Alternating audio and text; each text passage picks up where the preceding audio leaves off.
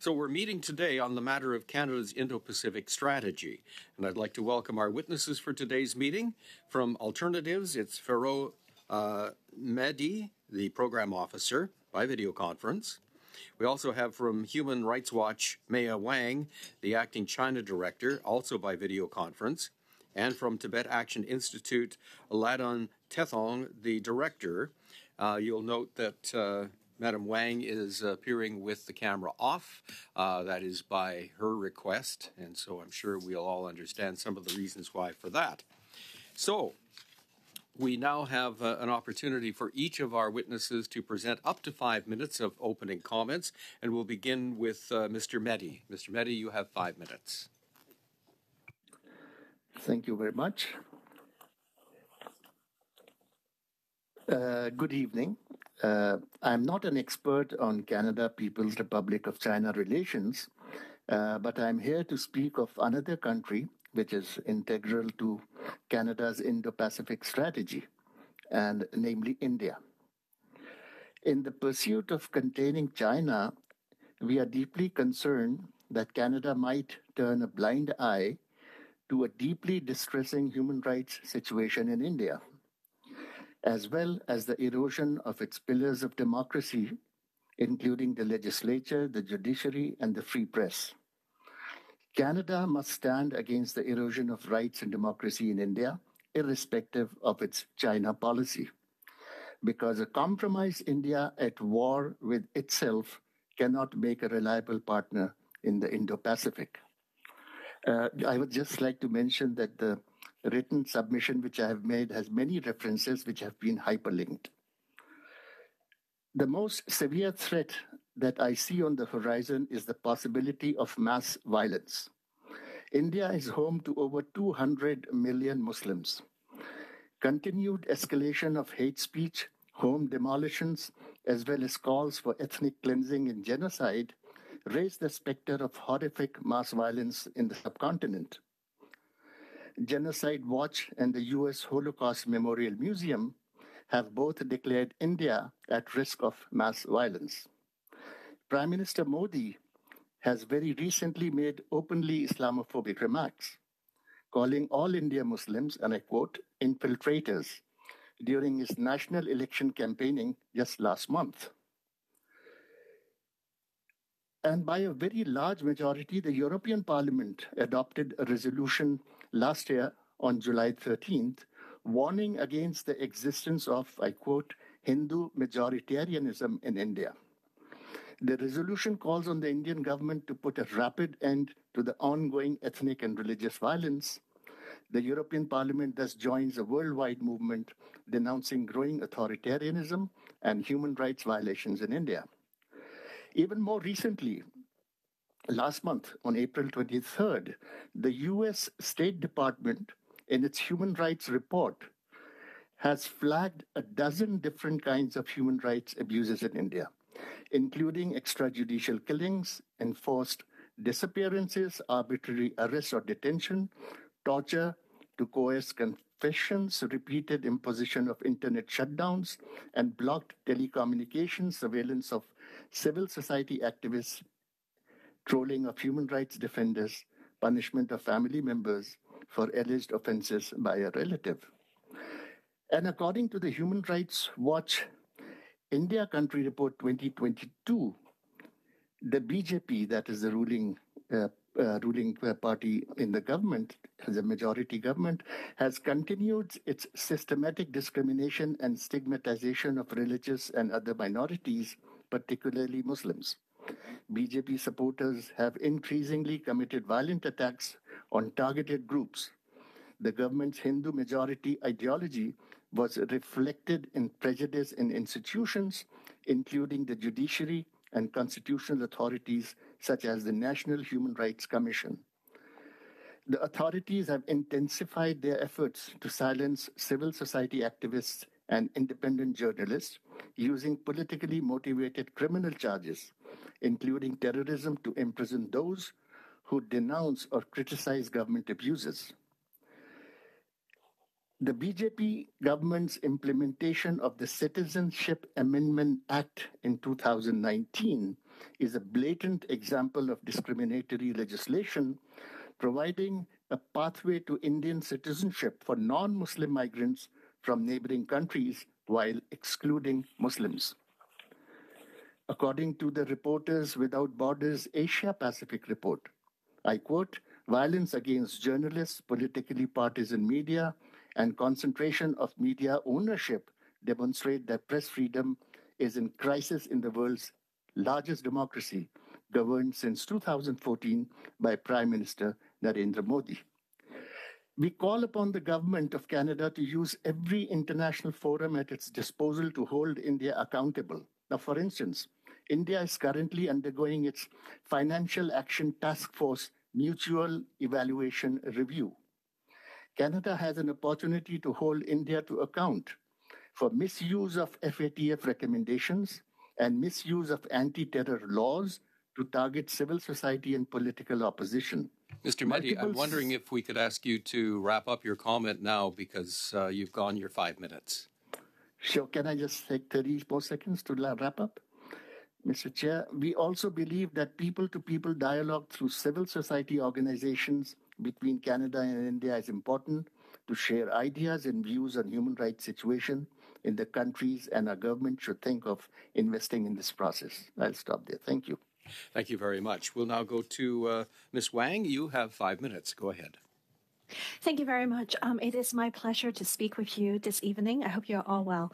Um, I, am Maya Wang, and I'm the acting China director at Human Rights Watch, and I have worked 17 years tracking human rights abuses in China, Xinjiang, Tibet, and Hong Kong. First of all, I would like to also, um, you know, agree with Mr. Mehdi that I think in um, the efforts to address um, China, um, I think it's very important not to lose sight of the, the growing abuses in places like India, uh, which Human Rights Watch also documents. Um, but going back to China, um, more than a decade um, into President Xi Jinping's rule, um, the Chinese government has very significantly deepened repression across the country. Um, in Xinjiang, the authorities have committed, as you know, crimes against humanity, which include mass detention, forced labor, cultural per- persecution, and widespread surveillance throughout the region. Hundreds of thousands of Uyghurs and other Turkic Muslims remain arbitrarily imprisoned as a result of this strike hard campaign. Um, many of them for, um, you know, imprisoned for everyday lawful behavior. They're imprisoned for things like engaging in basic religious activities such as praying or having recite- recitations of the Quran on their cell phones. The average sentence for these kind of behavior is 12 and a half years. As to the situation in Tibet, I'll leave it to my um, co-speaker, my colleague after me, um, Lhadon, um, who will elaborate. In Hong Kong, the authorities have erased long protected basic civil and political rights after Beijing imposed a draconian national security law on the city in 2020. The government has also taken rapid fire steps since then to eliminate the pro democracy movement, the free press, arresting over 10,000 people for their involvement in the 2019 protest, and has just imposed a second security law on the city known as Article 23 in March just this year. Throughout China, the Chinese government has tightened its already vice like grip on society. I don't think I need to explain just how many different ways the Chinese government, um, you know, using um, the law, using security forces to, you know, keep control over society. But just for a simple example, now expressing pessimism about the state of the economy right now can be punishable as an act endangering state security. Given this worsening environment um, of human rights situation in China, here is what we think the Canadian government should do. First of all, words do matter. Um, we shouldn't be fatigued by the fact that China, the Chinese government is deeply abusive, that we, we, we should take words very seriously. We urge the Canadian government to publicly express concerns about the Chinese government's human rights violations at the highest level. Um, it um, should urge the Chinese government to end crimes against humanity in Xinjiang. Let's not forget that. Words alone are not enough. They should be backed by concrete actions. Otherwise, we all know the Chinese government would consider um, words just paper tiger. In Hong Kong, for example, um, the Canadian government should impose targeted sanctions on rights abusing Chinese and Hong Kong officials after Article 23 was just enacted. While we appreciate the Canadian Parliament's decision to resettle 10,000 at risk Uyghurs, we also appreciate Canada's ban on forced labor, but we fear the current ban and these actions are not enough.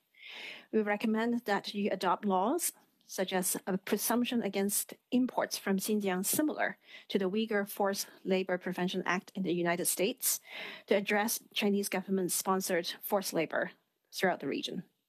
We also recommend that you pass a due diligence law requiring companies to address human rights abuses in their supply chain in Xinjiang and elsewhere. Finally, Canada should also act to address transnational repression by the Chinese government in Canada we recommend that the Canadian government to encourage universities to track instances of direct or indirect Chinese government harassment, surveillance, or threats on campuses.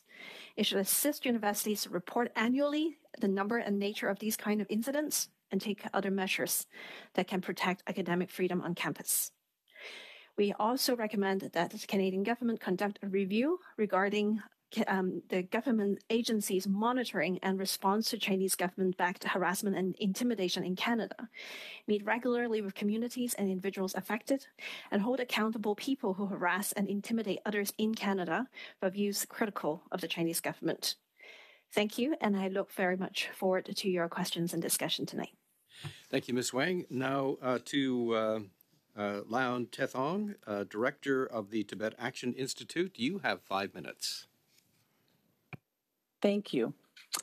Thank you for the opportunity to speak here today and um, uh, represent Tibetans, and also I am a Tibetan Canadian. Um, my father was born in a free and independent Tibet in 1934. My brother was born in a Tibetan refugee camp in South India, and I was born on the traditional land of the Songhees and Esquimalt nations in Victoria on Vancouver Island.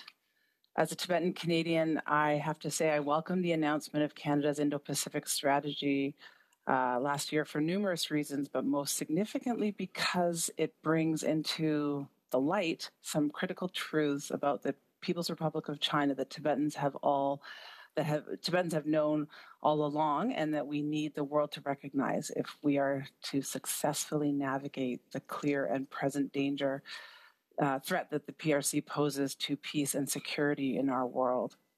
The first, of course, is that the PRC is an expansionist power. This is something Tibetans learned the hard way a long time ago with China's invasion and occupation of our nation in 1950. And it was the very first act of aggression and annexation carried out by the newly formed Communist government of the People's Republic of China. The second truth is that the Chinese Communist Party does not in any way share the values that Tibetans, Canadians, and so many others around the world hold dear, especially respect for human rights, democracy, and the rule of law.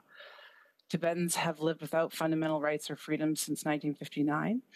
Uh, and some years and decades have been worse than others, depending on who may have been in power at the moment uh, in China. But ultimately, the CCP is the CCP and has been ruling over Tibetan people with the most vicious iron fist for all these decades.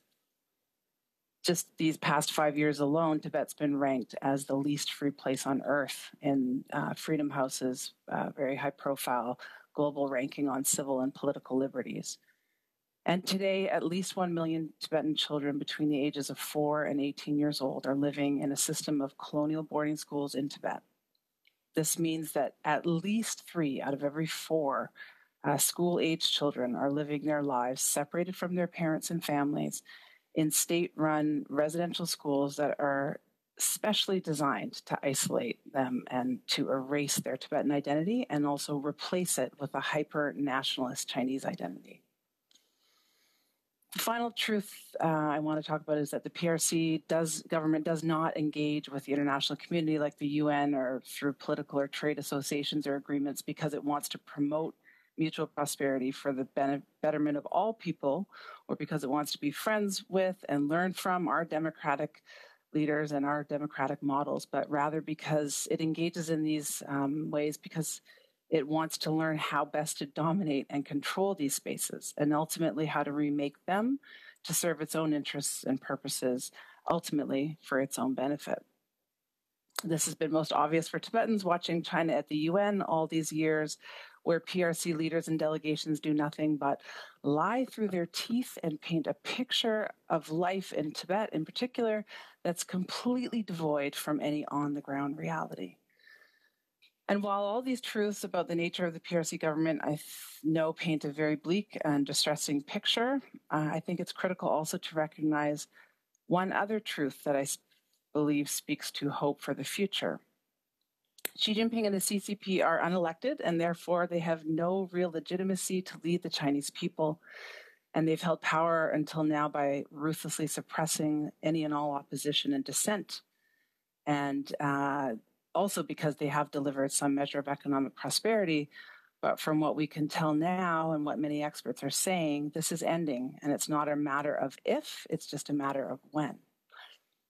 Xi Jinping's totalitarian rule, uh, failing economic policies, and paranoid political maneuvering have created deep discord and division within the CCP and in particular, widespread suffering under China's very harsh zero COVID policies and the sudden lifting of their restrictions undermined Xi Jinping's legitimacy and generated an understanding, especially amongst young people, as seen in the white paper protest, that the CCP does not have the capability to lead and does not what, have what China needs now um, in terms of a future for with freedom and democracy we believe that taking a, a strong public stand uh, and a principled stand on Tibet and on human rights more broadly uh, will tell people inside China uh, and beyond what Canada truly values.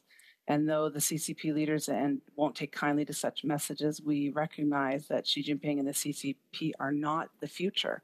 The future actually lies with young people, workers, and the legions of human rights defenders who are suffering, dissatisfied, and hungry for change.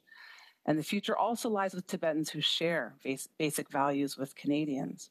Uh, Ms. Canada has a long history of. Excuse me, ma'am. Yes. I wonder if you could wrap up. Uh, you've gone past do. your five minutes. Okay. Thank you. Yes. Canada has a long history of supporting human rights in Tibet and the aspirations of Tibetan people. Uh, His Holiness the Dalai Lama is one of only seven honorary Canadian citizens, and uh, all that Tibetans and he stands for in terms of peace, compassion, democracy, justice. These are the fundamental values uh, that Canada has uh, stated to support and also, I think, are core to peace and security in the world, as is the Indo Pacific strategy. And so, what we would ask is that Minister Joly, on behalf of the Government of Canada, speak out publicly against the colonial boarding school system in Tibet, echo the recommendations made by UN human rights experts calling on China to abolish this system, also further impose sanctions against the architects of the boarding school system um, because this would have a huge impact on for accountability and for Tibetan parents and educators on the ground inside Tibet. And also, we need the government of Canada make to make very strong and clear public statements and work with like minded partners and allies to make it clear that Tibetans decide who the next Dalai Lama is Tibetans have been managing this process for a half a millennium, and the government of the PRC has no role in this matter, no matter how desperate they may be for one, because this process belongs to the religious leadership uh, of uh, Tibet and the people that His Holiness the Dalai Lama entrusts, and no one else. Thank you. Thank you. Now we'll go to our rounds of questionings. We'll begin with Mr. Chong for six minutes. Uh, thank you, Mr. Chair. Uh, today, we're talking about human rights, uh, whether it's in respect of Uyghurs, in Xinjiang, uh, people of Hong Kong, people in Tibet, Muslims, and other minorities throughout the Indo Pacific region. And so, my first question for all three panelists is which, which peer democracy of Canada's do you think has the best practices in terms of advancing uh, human rights in the Indo Pacific region? you know, what what country do you think is doing this in a way uh, that's most effective in the region among the peer democracies uh, that Canada is associated with? Well, I'll start with one of the, you know, Miss, Mr. Mehdi. We'll start with Mr. Mehdi and then Miss uh, Ms. Wang and then Miss uh, Tethong. Uh, well, it's a good question. I I don't uh, know which country to identify who is promoting. Uh, if that is the question, Mr. Chair, the the democracy or democratic institutions in India today. Uh, but there are, like I mentioned in my presentation, uh, European Parliament parliamentarians which had passed a resolution uh, highlighting the, the the abuse of, of human rights in India, or institutions like USCIRF. Excuse me, uh, Mr. rates- Messi, I'm wondering if you could uh, turn your camera on, please, sir. Oh, sorry about that. All right. You can leave your camera on, just mute your microphone when you're not speaking. Okay, great, thank you. So yeah, there are institutions which uh, which are testing and promoting uh, the Indian democratic institutions, but so far uh, nothing concretely has been done in India, as far as I know. Thank you. Um, I, I think that's a very difficult question um, because I think there is basically no perfect um, policies. I think on human rights, especially because we see previous, you know, in a different era, in the era of essentially quote engagement with China, um, you know, human rights issues get um, pushed very much down the hierarchy, prioritizing economic engagement with China. And now I think with this era, we, we see national security now being the top line um, priority in many governments and human rights again although it's being talked about. But a lot of the policies are not really about promoting um, human rights. I think it's a lot about competition which i think there are some you know understandable reasons for that. Um, nonetheless um, I think using human rights as an instrument to compete rather than um, promoting them as a value, also to speak to people inside China to give them the strength and support they need. Ultimately, they are the people who would change China for the better, um, is a short sighted way of seeing it. However, if you really have to push me, what kind of policies have been good in terms of or better when it comes to China and human rights. I would probably put some of the European Union's, you know, laws and and uh, you know that has to do with uh, due diligence that recently got passed, or um, uh, you know, forced labor on forced labor.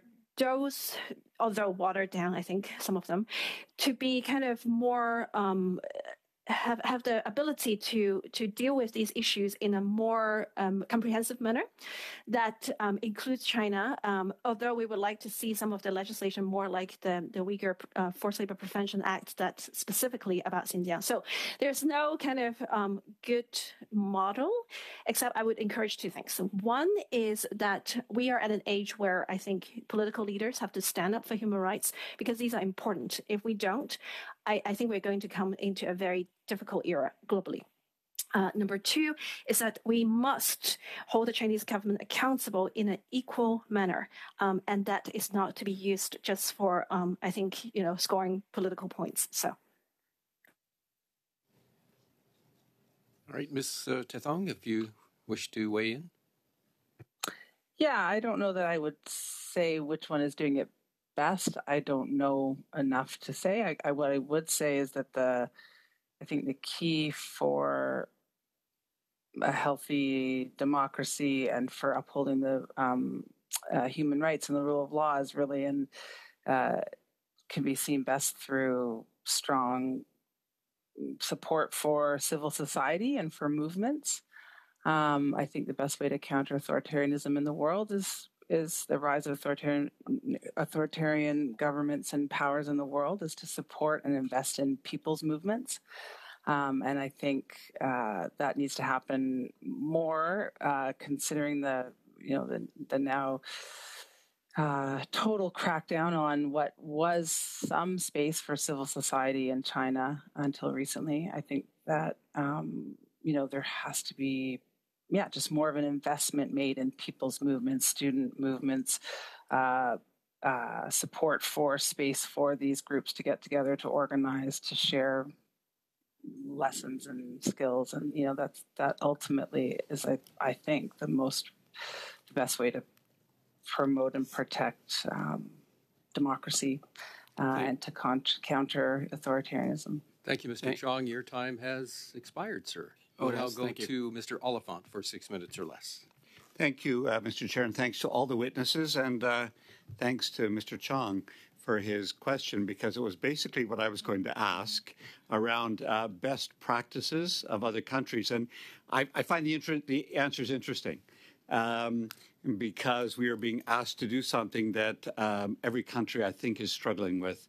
Uh, and I wanted maybe then to, to take it to a next step and talk about the intersection between democracy, human rights, and economic activity and international engagement and trade. And um, again, I guess we'd go a, a tour de table of the, the three witnesses to say, um, do they see democracy and democratic rights as equal to uh, human rights or equivalent and a necessary uh, precursor for human rights? Or is it possible to have human rights in a non-democratic country? And I have no, I'm not leading, that's not a leading question. I'm really genuinely interested whether or not uh, you believe that human rights uh, can be protected in a system that is not the same as a democratic Canada. Do you have anybody you wish to start with? We'll go reverse order to the last one, just to be fair. All right, then, uh, uh, Ms. Tethong, you'll start.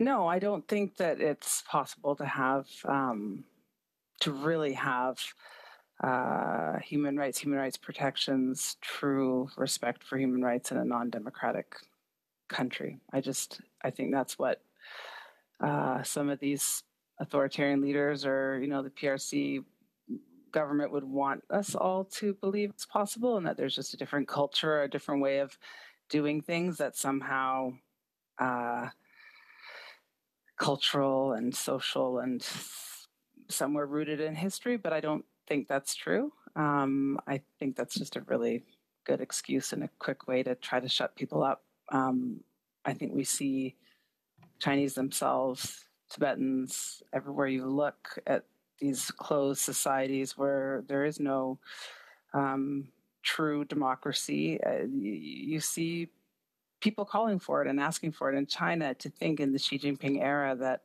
the uh, the first sort of protest in that COVID lockdown period where the man put the banner on the bridge and and openly said we don't want a king. We want democracy. We want rights. I okay, mean just because my time's limited i want to go to the yeah, next that that person. to me is just that's the key. That's the answer. Okay. Ms wang? Um, I don't think I can improve what Lhadon has said, um, I think um, Chinese government would say that they are perfect in protecting human rights. Is um, basically a lot of propaganda we see around the world, from uh, Lebanon to Sudan. I, to... I know your your opinion on that. I'm asking whether or not you believe that it is possible ever to have human rights protected in a non-democratic country. No, I don't think so. Okay, right, thank you. And um, um, Mr. Mehdi. Mr. Mehdi. Yes, I mean, this applies so very well to India today. The Indian government calls itself as the mother of democracy. And as I have pointed out, that it is not possible to have universal human rights when the real democracy, which India is not today, as many observers have written in 2014, India becomes a de facto Hindu nation. And in 2019, it becomes a de jure Hindu.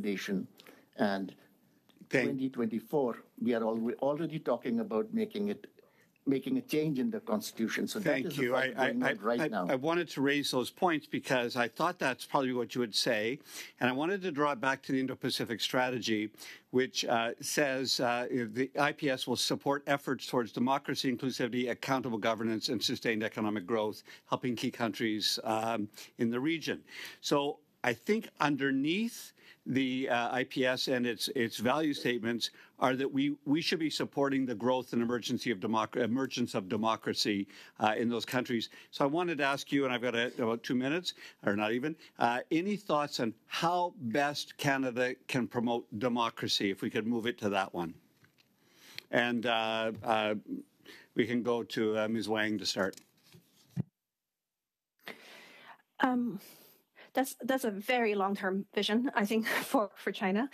Um, I think at this moment with Xi Jinping in power, um, we are going to have a very tough one um, inside China. Um, nonetheless, I would start with making sure the Chinese government face consequences for crimes against humanity. Now, we saw in the last two decades, the Chinese government keeps pushing that line, pushing that line, and it never got enough pushback from other governments.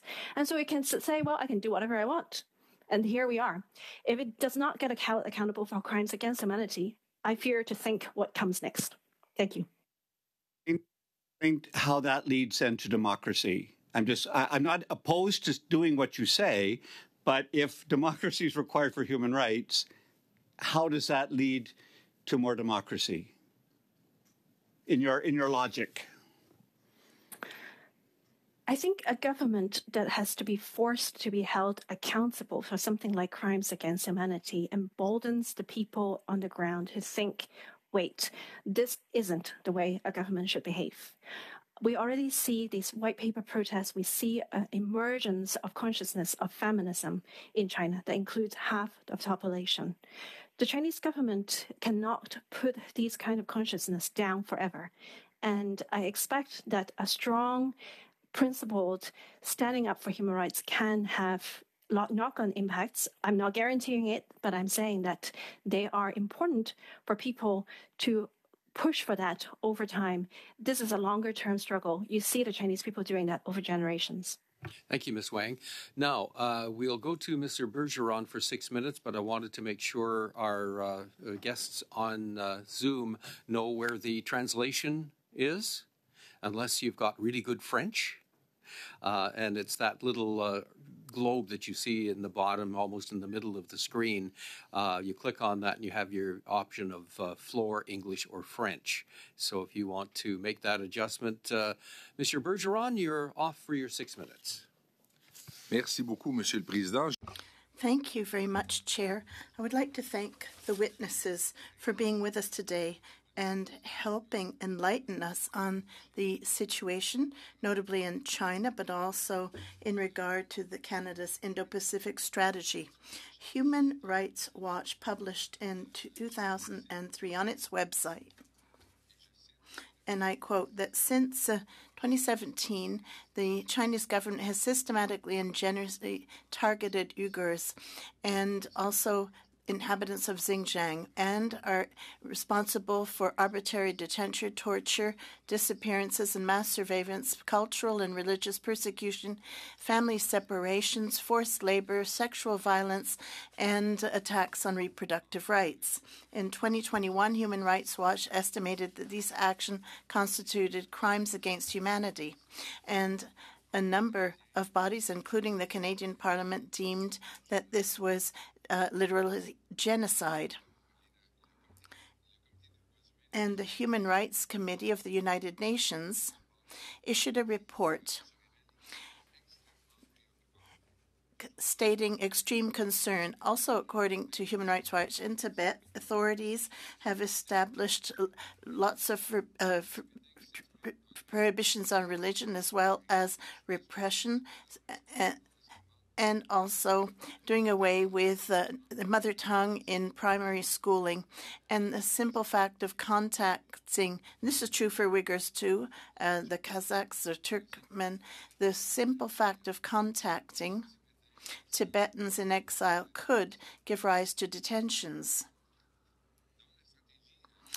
In the Indo Pacific strategy, Canada indicates that it will continue to defend the universal rights, uh, including regard to Uyghurs, Tibetans, and other religious and ethnic minorities. Moreover, how do you do this? Well, we do this by avoiding the imports of products resulting from forced labor. in Canada intends to provide more technical support to certain trade partners. And here I'm quoting the IPS technical support to Indo Pacific trade partners to implement uh, uh, provisions uh, regarding work and forced labor. And Canada has not shown itself to be exemplary in that regard to date and legislation arising from an MP was adopted, pro proposing a voluntary company statements in regard to forced labor, and the government was to come up with a much uh, more restrictive bill, but we're still waiting for that. Moreover, a simple directive was issued regarding uh, CBSA preventing the import uh, into Canada of products emanating from forced labor. So, my question is simple. To date, these measures appear to be ineffective. How can Canada claim it is a world leader and one likely to provide more assistance to Indo Pacific partners and this regard to issues of forced labor? And my question is for all three witnesses. Thank you. Which uh, person would you like to uh, start with, uh, Mr. Bergeron? Perhaps we can go in the order in which they gave their statements. Mr. Mehdi, Ms. Wang. Your comments first, and then uh, Ms. Uh, Wang, and then uh, uh Ms. Uh, uh, Tethong. Mr. Chair, I'll give it a little thought before I say something. Thank you. I'm sorry, Mr. Mehdi? you're on mute, sir. Did you have something to uh, offer uh, by way of an answer? No, not as yet. Thank All you. right, very good. Uh, Ms. Wang, then you're next. Yeah, um, I mentioned in my testimony at the beginning that we welcome the Canada's ban on forced labor, but as you have put it, it's not adequate. Um, we recommend two things. One is that you adopt laws that has a presumption against imports from Xinjiang um, similar to the Uyghur Forced Labor Prevention Act in the U.S. Um, because the, the forced labor that's taking place in Xinjiang is um, a, a region-wide government-sponsored forced labor system. The, sec- the, the, second thing is that we recommend that you pass a due diligence law that actually require companies to take action to address human rights abuses in their supply chain in Xinjiang and elsewhere. So I think those two things would go, um, you know, towards, um, you know, what, what you just described as um, Canada taking a, an important step as a leader in protecting human rights um, at the intersection of, of trade, um, imports, uh, uh, business, and also human rights. Thank you. And uh, Ms. Tethong, your uh, comments? I think I'll just go a little more uh, to a broader approach here, which is I think what we need uh, on on the one hand is a much more public and un sort of speaking to these issues, human rights abuses, speaking to all of this more clearly, more publicly, not being afraid. I feel uh, you know, not being afraid to address these directly because it might upset Xi Jinping or offend uh, the Chinese Communist Party leaders, whoever it is we're dealing with. I think there are lots of good tactics and, and tools being rolled out and talked about, but I do think overall, and I see this kind of everywhere, there's a general still this fear or this need to sort of this belief we need to tiptoe around the CCP in all of our talk on human rights. And, you know, the, I just, I, I guess I would say it, it, the Chinese government can read us pretty clearly and they know that, you know, some of the measures, the initiatives that we take, our governments, they're, they're not as, uh, robust as they could be. And they, at the same time, I think they know that if they just threaten to huff and puff and blow the house down, we all shrink back in fear. And I, I just, I think uh, the issue of human rights should just be one that's public, no more private backroom bilateral dialogues, but public pressure uh, public discussion and just to you know we, we lead by example and also we telegraph we signal to chinese people and tibetans and everyone who's watching from the other side and they do see and hear what's happening um, outside. They will see that we're serious about it and that we're not afraid. They don't want us to be afraid of, of xi jinping and the rest. Uh, we need to be bolder in, in all of our approach and more public with all of it too Thank you for that. Uh, now to Ms. McPherson, you have six minutes. Thank you very much, Mr. Chair, and thank you to all of the witnesses for being here and sharing this important testimony with us. You know, I, am struck by all of your testimony. I don't think there's anyone in this room that doesn't agree that that the human rights abuses that we are seeing in, in both India and China are are dire, and that there needs to be more done. Um, and where I struggle is what we can do as as Canadian parliamentarians. What are those those concrete pieces that can be that can be done? Um, so I have some questions for each of you based on on your on your testimony that I'd I'd like to to start with, and I I think what I'll do is perhaps start with you, Miss Wang. You know, you spoke about forced labor and the forced labor legislation that Canada has. Well, to be perfectly honest, from my perspective, we do not, in fact, have forced labor legislation. Um, S211 was a bill that was brought forward that basically says that folks, that corporations or companies have to tell us if they think that there is um, forced labor within their supply chains. There are no implications on that. There's nothing that has to be done uh, to stop that from happening. So I do think that there is some real need for us to strengthen that. We also have an ombudsperson. I've spoken many times about the toothless ombudsperson, uh, the core ombudsperson, who does not have the ability to, to compel testimony or witness and is not able to do uh, the job that's that that that that office needs to do, or the the job that that office was promised um, when when this particular government put that in place. You know, you you spoke about the fact that we've prioritized economic development and security over human rights. I'm I'm wondering though, you know, what are those concrete steps that Canada could take that that China would actually see that would listen to because we we have called out the Uyghur genocide within this parliament.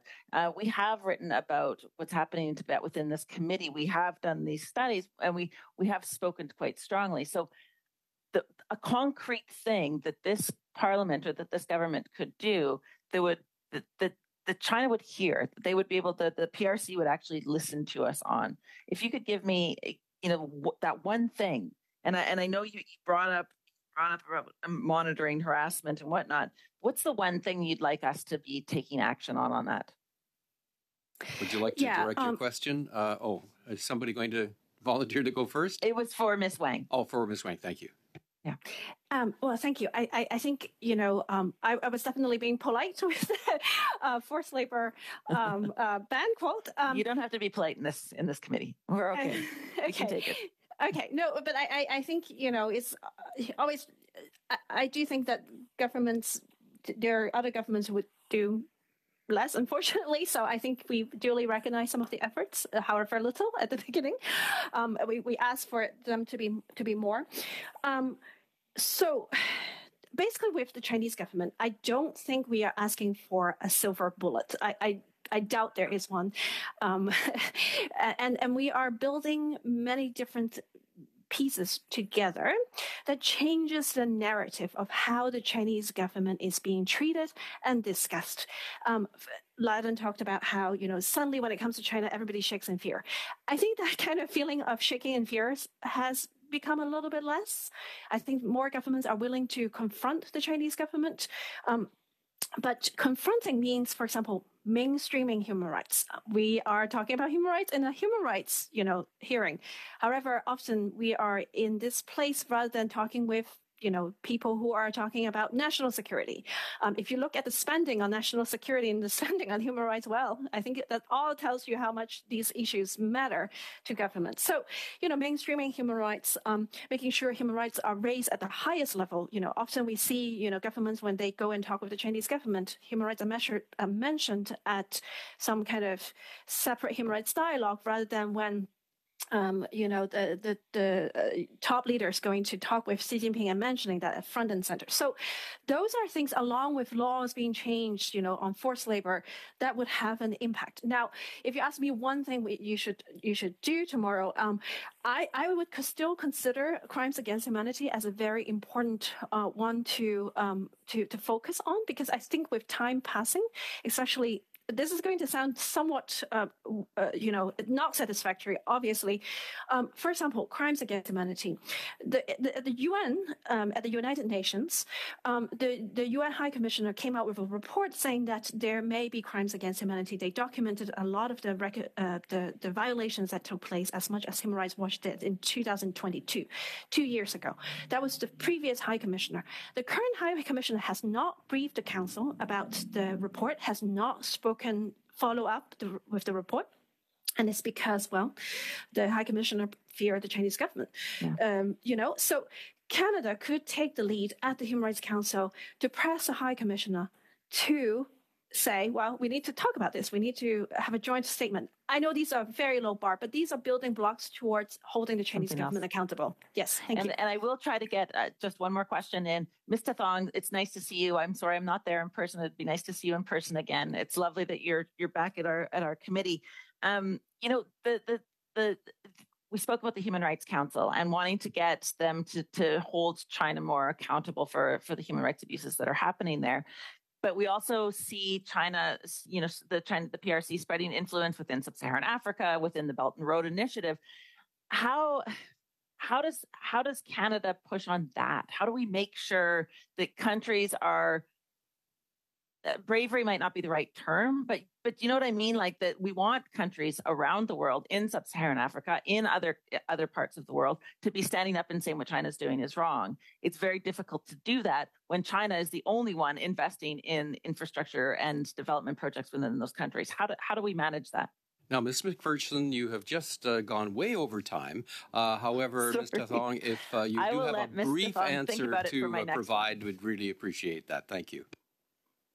Yeah, it's going to sound a little repetitive, but I, I think the if the sort of like-minded nations, if Canada, the U.S., the U.K., Australia, if if all of these nations um, can speak, not just you know taking action in the UN together, but speak m- each individually more clearly, directly with China and publicly, so that other nations can see it, and so that Chinese people can see and hear it, and so Tibetans can see and hear it. I think that is critical because as of yes, I agree with Maya. There's a stronger approach in general now. I feel like it's I mean, there's no other option at this point, and people are governments are far more willing to say to say something about transnational repression because it applies right at home. So therefore, it's really clear.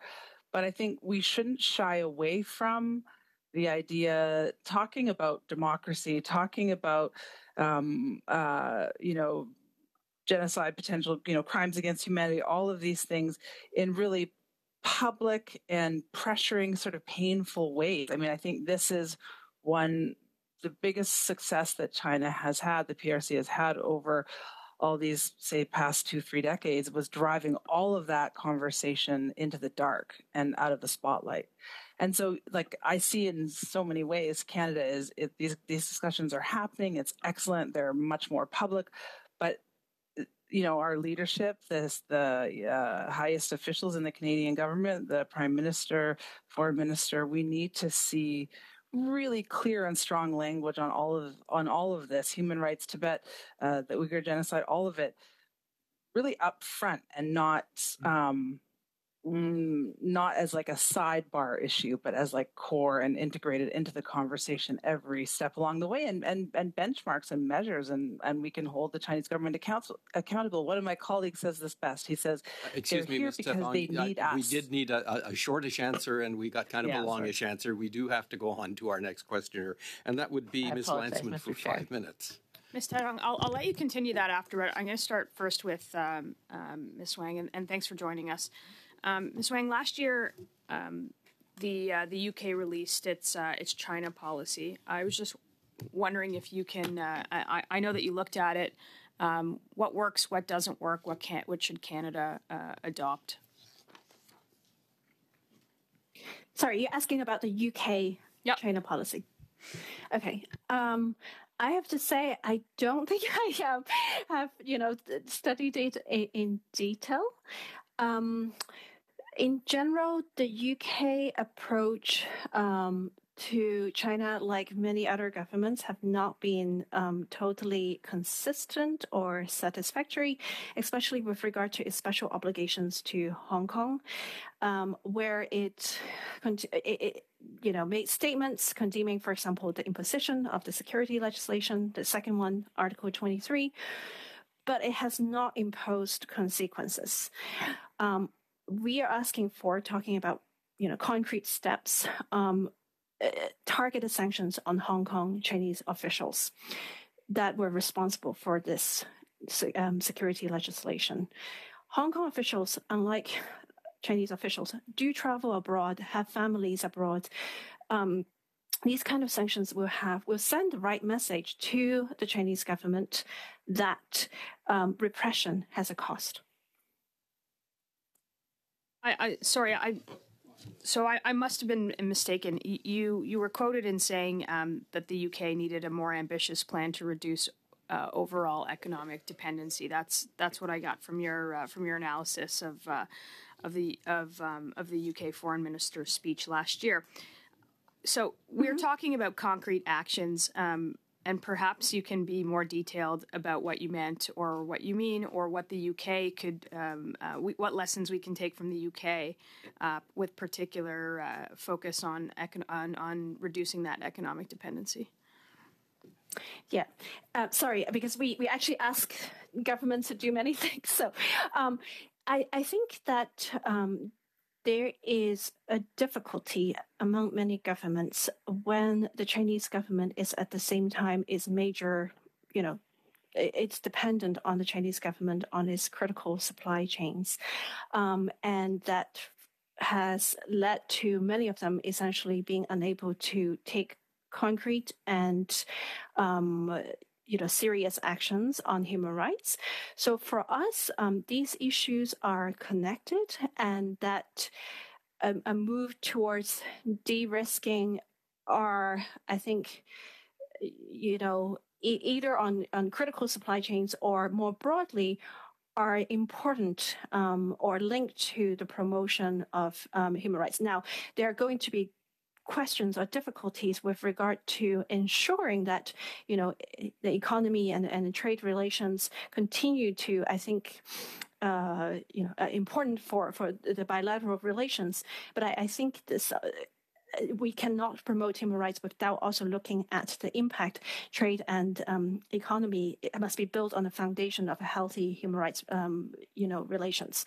So this is where i think um, that recommendation comes from is that we cannot divorce these issues completely. Is is there really specific elements that you can uh, you can point to uh, in terms of uh, uh of what what could work in uh, in the UK and what we could would would emulate here? Um, I think one of the you know, I think some of those recommendations are already taking place. For example, I do think, for example, governments like Germany have looked at how their economy is dependent on, um, you know, the Chinese government, basically, because the Chinese government controls access to the country. Um, and therefore, I think there have been some effort to seek um, addressing those. Um, and I would say that some kind of review on how the Chinese government has been using um, these kind of economic leverage to make sure governments do not speak on human rights issues, either in Canada or globally, are important.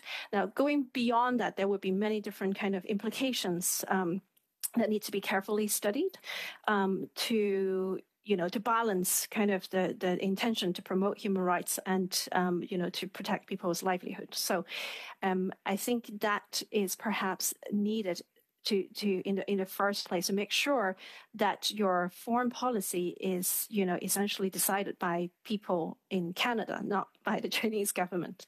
Thank, Thank you. you, Ms. Wang. Uh, we will now go to uh, Ms. Yip for five minutes. My question is to Ms. Tethong. Um, I think uh, you have mentioned, uh, you highlighted the fact that China does not engage with other democracies. So that makes it very challenging for nations like Canada to have a meaningful impact. How can the UN and other like minded uh, democracies work with China to engage in a dialogue? Is it even possible?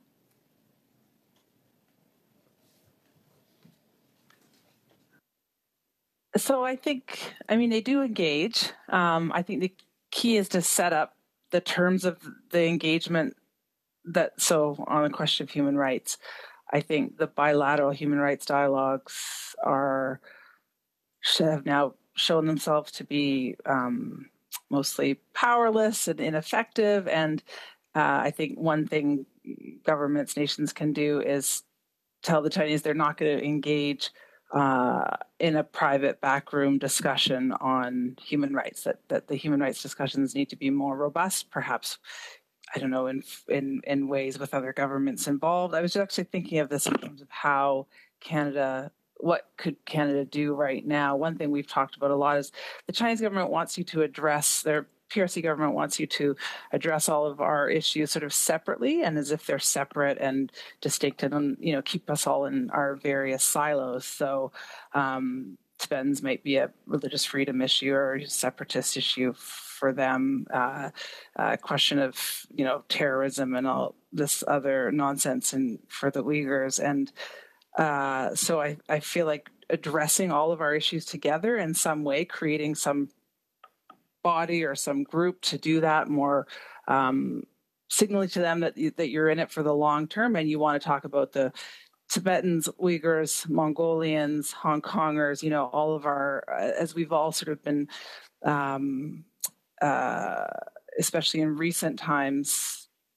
they've tried to enforce a silence over our communities through transnational oppression, and then by shutting off our regions or clamping down in our um, in our nations and in our territories. I think addressing our issues together and seeing where the themes are and the commonalities and and all of that.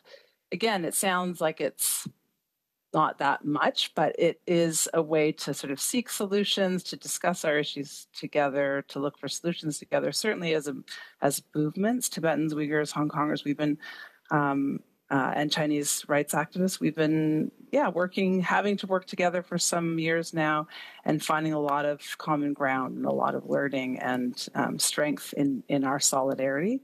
I think there's nothing probably the PRC government would like you to do less than get together and talk about our issues together and look for uh, ways to to address them as one, so that they're not they're not sort of broken up and treated as just an issue here, an issue there, but they're core to, you know, the treatment of um, all of our children, for example, in these in these residential boarding schools. They also exist in in uh, East Turkestan, or what China calls Xinjiang, um, and uh, also for Southern Mongolians, or what China calls Inner Mongolia.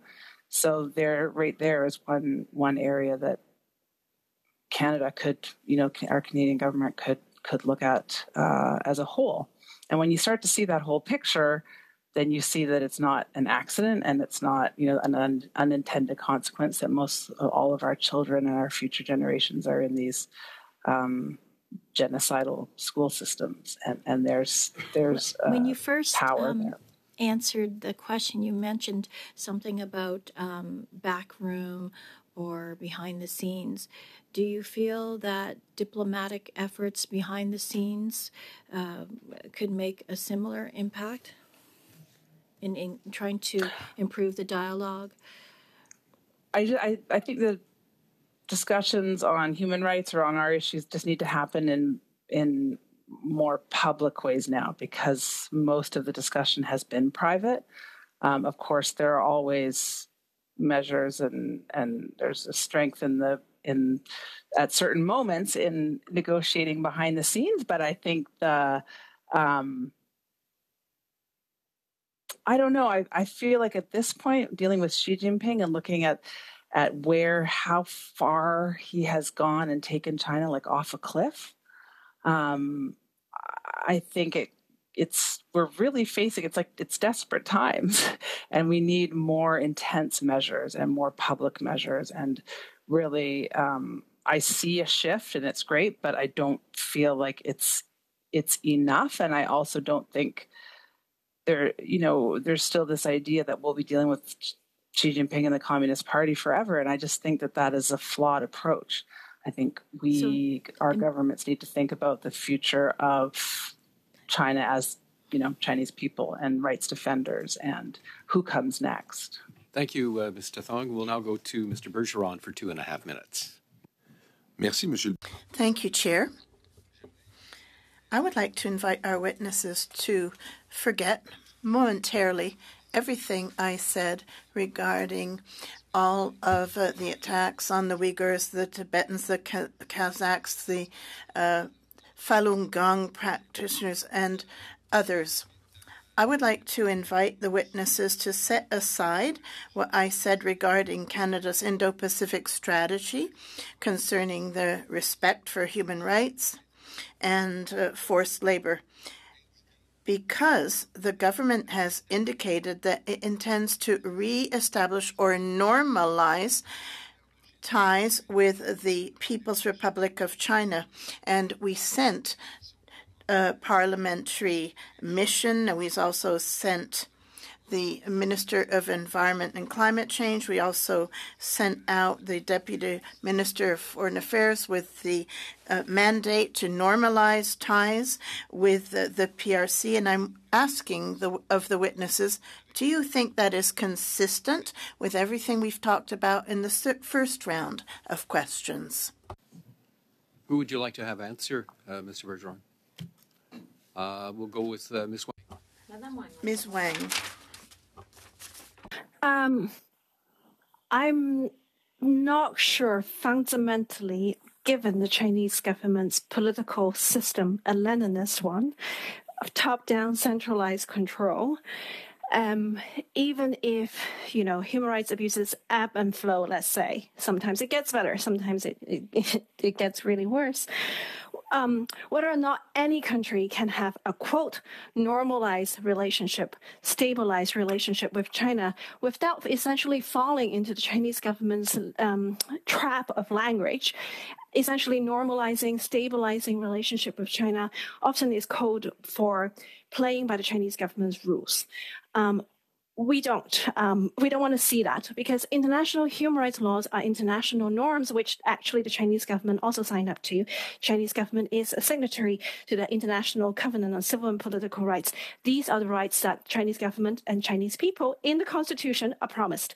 So we hope that we remember where the, the guiding principles or, compass of those relationships are um, in, in your relationship with China. Thank you. Thank you, Ms. Wang. That's your time, uh, Mr. Bergeron. Uh, Ms. McPherson, your two and a half minutes now.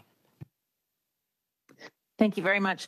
Um, one thing I want to ask all three of you, actually, to start with, we've heard from other human rights folks that have come and talked to this committee and to other committees. I used to sit on the International Human Rights Subcommittee, but also on the Foreign Affairs Committee, and and the need for Canada ha- to have a human rights strategy is something that we've heard from from many advocates, many experts. Um, a comprehensive human rights strategy. I'd like to start with you, Mr. Mehdi, because I didn't get to you in the last round.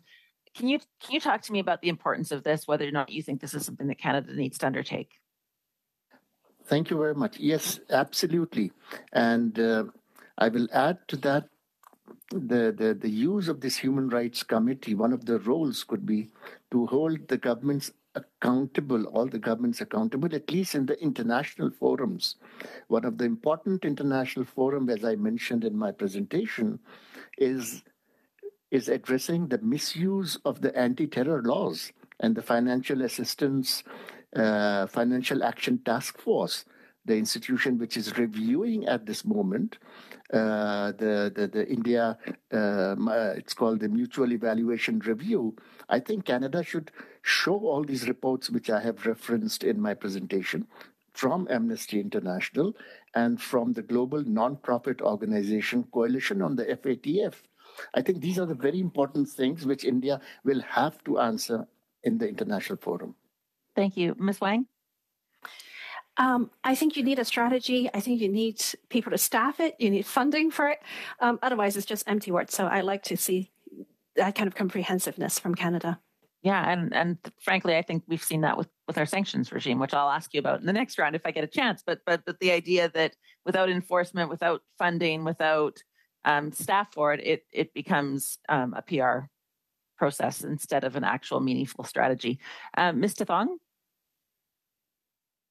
Yes, I think it's um, it's key for the continuity for you know um, from government to government, but also just in terms of infusing every discussion. Like when I think of the the all the different ways our you know governments engage with China on you know national security issues, military security, regional issues, trade, economics, everything. I mean, human rights need to be throughout. And the only way you do that well is if you have a clear, sort of cohesive idea of how and and and how and when to raise these issues, link them, and really, I, agree with Maya. I mean, you can't do it without a good, um, well-staffed uh, department to to follow through on it. But I think the more that human rights get sort of chopped up and put, say, country by country or place by place, it, it just doesn't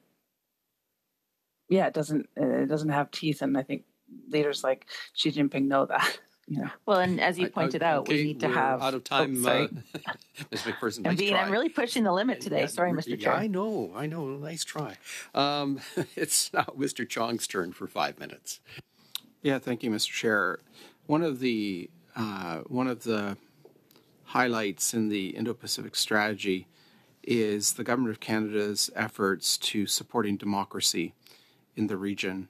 Um, if you look at uh, research from think tanks and other uh, research organizations, uh, what we notice that is over the last decade and a half, uh, over the last two decades, there has been democratic backsliding in the region, particularly in Southeast Asia, uh, in countries like Thailand, Myanmar, Cambodia, and, and other countries.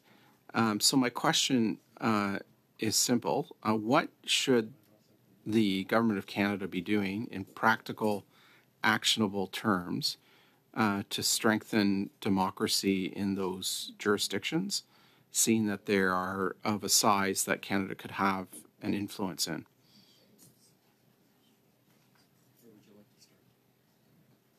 Uh, with any of the, with all three of them, Mr. Chair. All right, uh, we'll start uh, with you, uh, Mr. Mehdi, and then we'll go to Ms. Uh, Tethong and then uh, Ms. Wang. Sure. Thank you very much, Mr. Chair. Uh, yeah, so I think it's a very important, as as we all know, that there is no uh, cooperate, international cooperation development aid between between Canada and India. So that has cut a lot of dialogue people to people dialogue between uh, Canadian civil society organizations and human rights and civil society organizations in India. I know of a very few. I've been working in alternatives in the NGO sector since 30 years and more. And there was a lot of uh, exchanges between people to people exchanges, which not only shared and, and, and advocated with our specific our governments, both provincial and the federal, uh, about the situations and what uh, we think should be done to to to tell our governments and our representatives how to promote democratic institutions as a watch on what's happening in India. That is missing.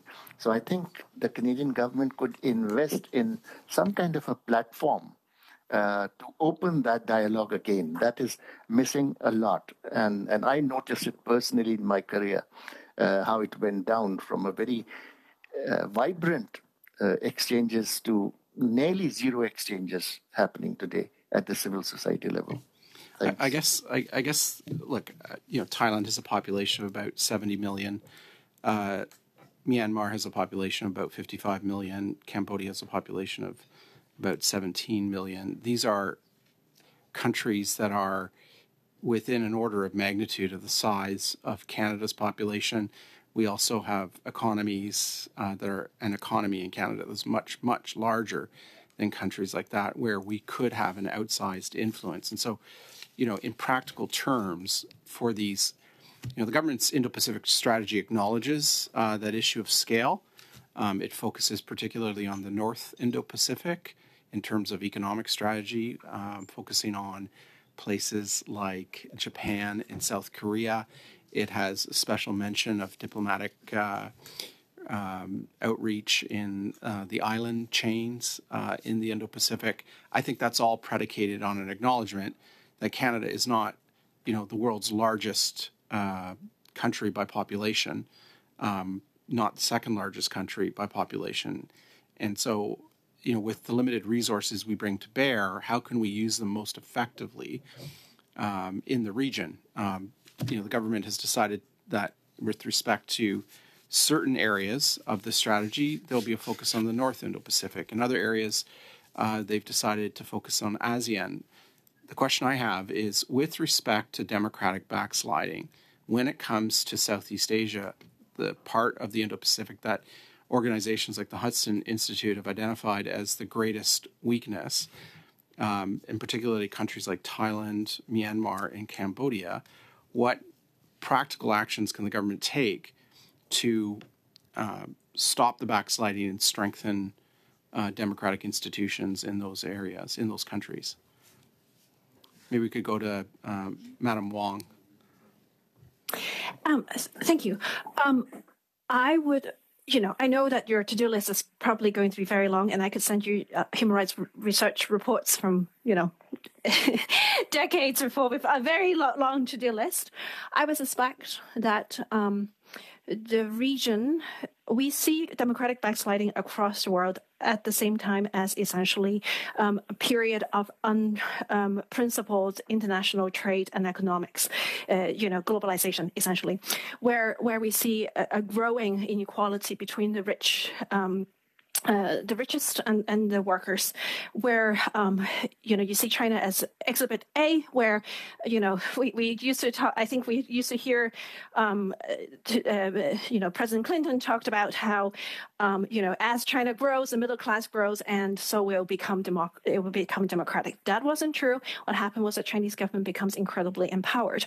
Um, I suspect, not an expert on all these other governments that you um, you have to deal with, um, a lot of these governments also became rich and very powerful in a way that is um, authoritarian.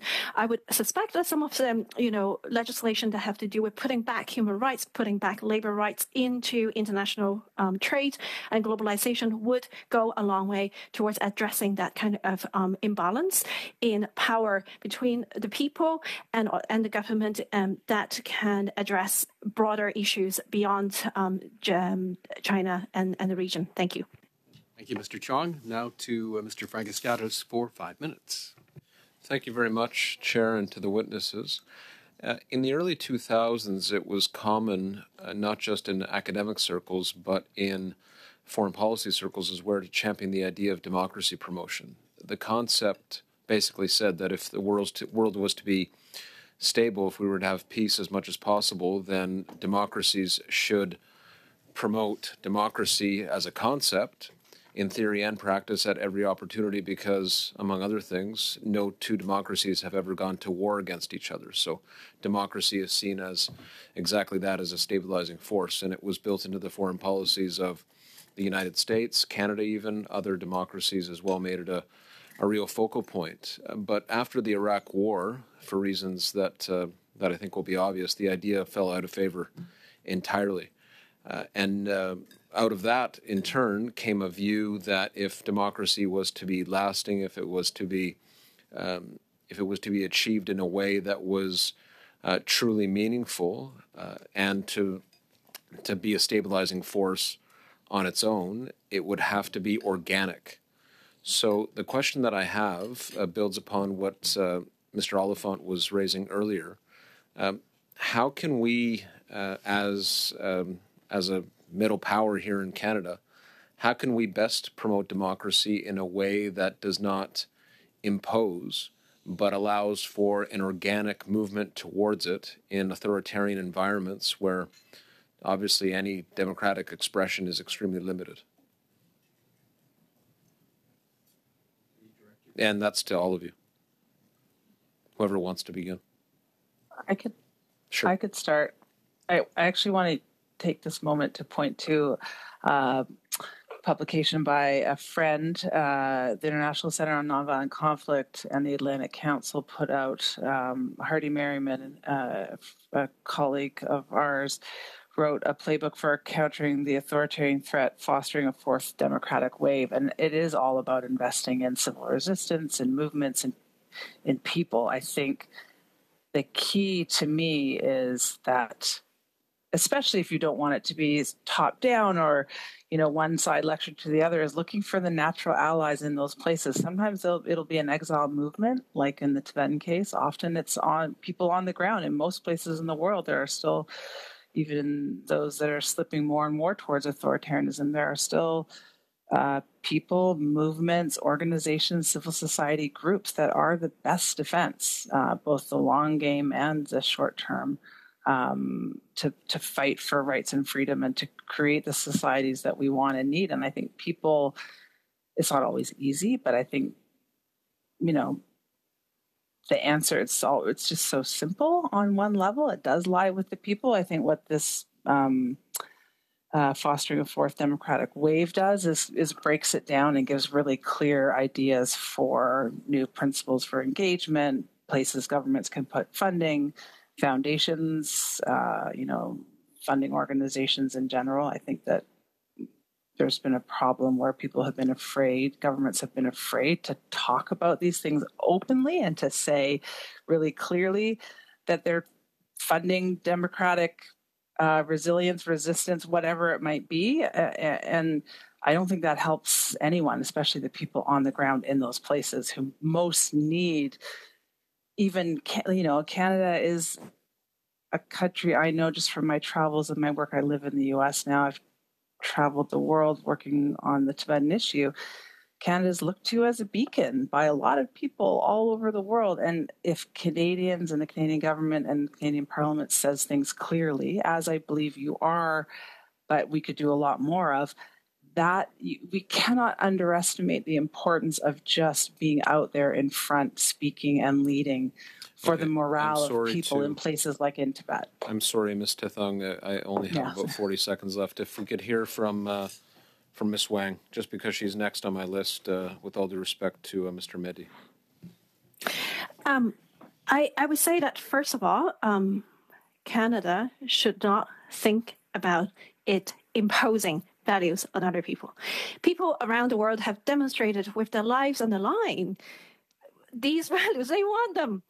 The only people who are basically saying don't impose these values are generally the people who you know authoritarian governments and leaders who say well don't don't do that um, so so i think it has to do with you know how we think about these issues we want to i think you want to think about them as canada standing in solidarity what would canada do if you were standing on the democratic front line with these people facing some very seriously militarized police and, and army these days to crush them. What would Canada do? And I think the answer would come very easily to anyone. Um, Canada, like Germany and France, I think sometimes think of itself as a middle power. It, it's not when it comes to, you know, economic, um, what it stands for. It has a lot of potential, especially in U.S.-China competition, where I think it's not. I think Canada is not considered as kind of, you know, um, necessarily. You know, I think it, it becomes a little bit more problematic these days as the U.S. You know uses human rights as a as a tool to to to um, compete with China. But I think Canada has a different profile. So Thank you very much. I would much. suggest you use it. Thank you. All right. So here's what we have. We have uh, 10 minutes left. Be time for one five minute round, which I'm going to give to Mr. Erskine Smith. And then we'll split the last uh, five minutes between Mr. Bergeron and Ms. McPherson. So if you're ready, Mr. Erskine Smith, uh, the next five minutes are yours. Thanks very much.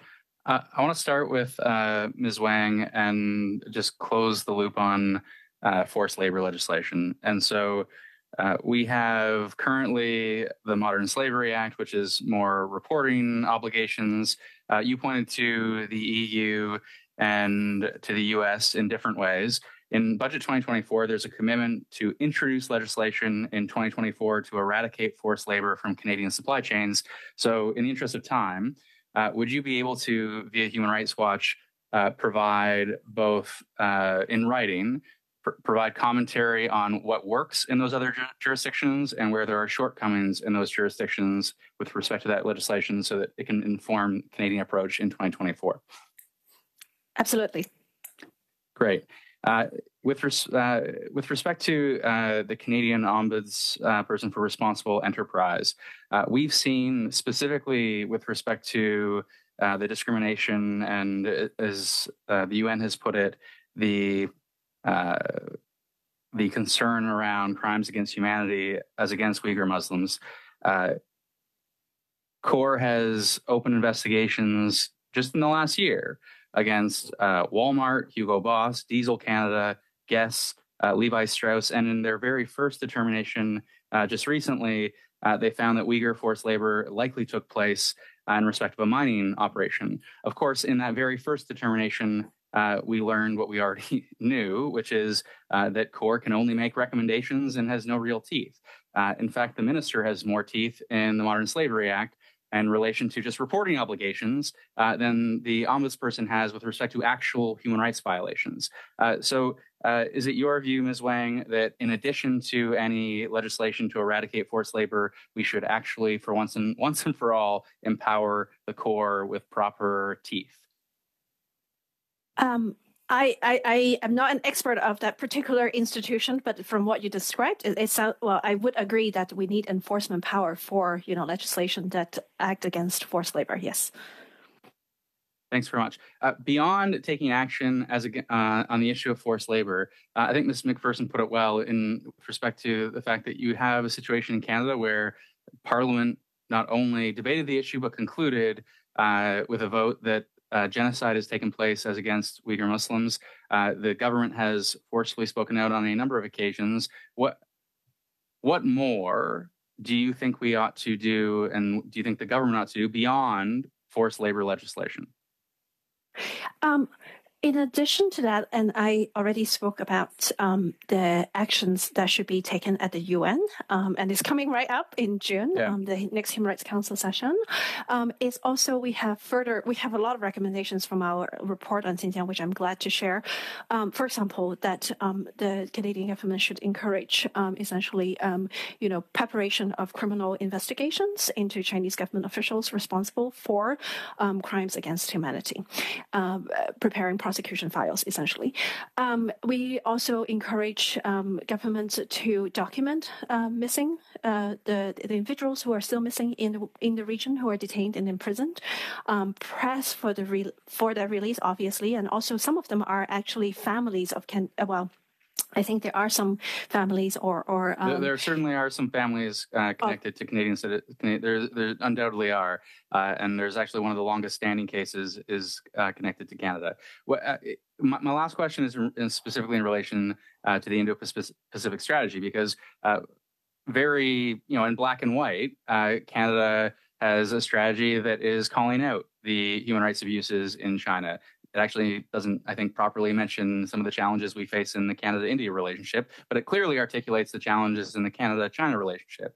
Uh, in, in, you know, I, am not going to ask you in less than a minute to do this, but again, if in writing, you can provide recommendations for how the Indo-Pacific strategy can be improved. And this applies to Mr. Mehdi and and Ms. Tethong. But if there are specific specific improvements that you would like to see in the strategy as it currently uh, is laid out, uh, I would appreciate you providing that to the committee. Thank you, Mr. Erskine Smith. Uh, we now have uh, two and a half minutes for Mr. Bergeron. Si vous me le permettez. Thank you. If you'll allow me, Chair, I'll continue where I left off earlier because only Ms. Wang had the opportunity to speak on the question I asked regarding Canada's intentions to normalize relations with the People's Republic of China. So I would like to hear from Ms. Tethong and perhaps Mr. Mehdi also. And this regarding the possibility of normalizing ties with a dictatorship such as the one that reigns in the People's Republic of China. Madame Tethong? Ms. Tethong? Yeah, I um, I don't think it's possible to normalize relations with China, the People's Republic of China, especially under Xi Jinping. Um, I think that the future, you know, his future, the Communist Party's future, is very, very uh, at risk and unclear at this moment. I think I heard someone describe it recently like there are eight loaded weapons facing them, and it's just a question of which one goes off first. Um, you know, whether it's demographics, whether it's uh, uh, the internal um, issues, the the economy, banking, all of it. So, I think for Canada to, if we can think more of Xi Jinping and the Chinese government at this moment, like in the Russia and Putin terms and think of where we're going to be and what it's going to look like. I think change is coming faster than we realize.